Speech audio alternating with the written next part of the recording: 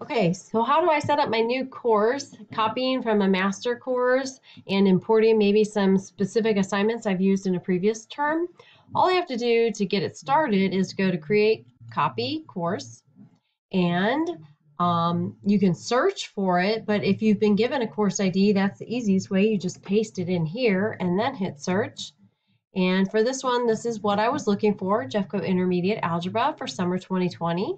So I select that and then it gives me some options. I want to make sure I leave it as a member section because I will have students enrolling in it. And then I need to name it. So I'm going to name it something specific to me. It is, let's say, section one, um, maybe Tuesday, Thursday, 11 a.m., and then put my name. Then you go down and you go ahead and put the course dates. Summer courses will start June 8th. Uh, the end date for those are going to be in July, so I'm going to put the 17th. And for enrollment dates, I like to give it a little more. It's the same start date as the course, but I like to give it a little longer than just a week or two um, because students go with temporary assignment or temporary access. So I want to make sure that I leave it open long enough for them to enroll. You probably want to go ahead and check this allow copy because that will allow you to copy anything you create in here from um, to another semester down the road. So create my course and then that's it.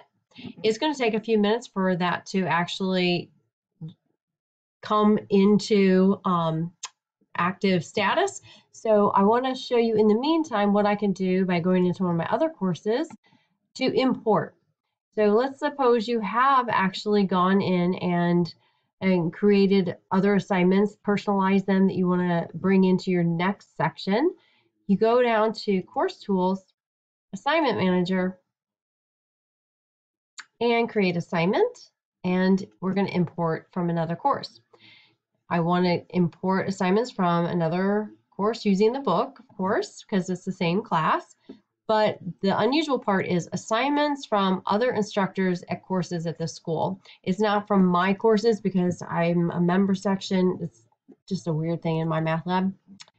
And now I'm going to go in here. I'm going to find one of my other, let's say, so I can go back and find something else that I taught. So maybe in the fall I taught something um, or last spring I taught something. You can scroll through here to find your particular course. So let's see something I found.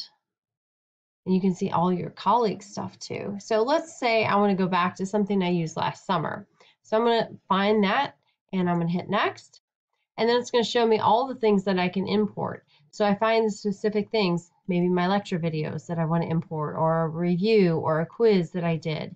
Anything in here that I personalize that I want to import, I go ahead and check those and it says, okay, um, here are the two things that you want to import and I just said, okay, and then it, it imports them. Then they're at the very bottom of the list. All right, so if you have any questions, please contact your course coordinator.